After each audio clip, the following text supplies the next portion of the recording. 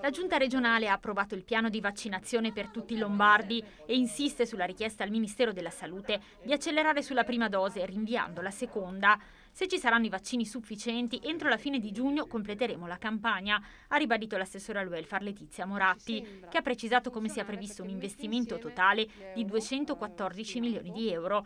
La prossima settimana, con una seconda delibera, saranno indicate tutte le sedi vaccinali, mentre sono in corso ulteriori valutazioni, in particolare per avviare la somministrazione anche nelle aziende.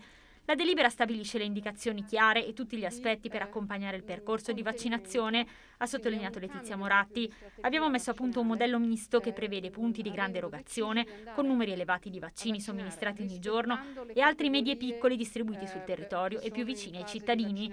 In tutti i casi saranno utilizzate strutture già esistenti.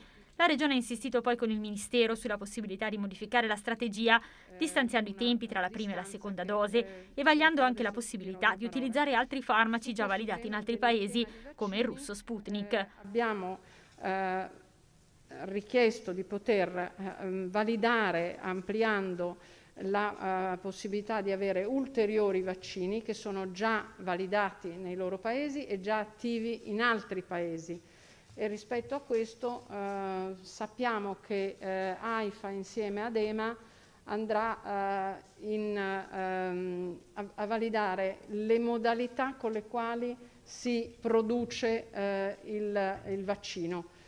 Il nuovo direttore del settore welfare, Gianni Pavesi, ha confermato il ruolo fondamentale dei medici di medicina generale e delle strutture private, ma anche delle aziende. La settimana prossima vi daremo la localizzazione precisa dei siti, che però in ogni caso è una localizzazione che può avere anche una sua variabilità nel tempo. Qualora trovassimo situazioni nuove che ci consentono di fare più vaccini, stiamo incominciando a ragionare anche con l'industria privata, con la Confindustria vogliamo capire anche, ricordatevi il ruolo dei medici competenti che possono essere anche loro uno strumento importante per fare vaccinazioni, quindi stiamo mettendo il massimo in campo.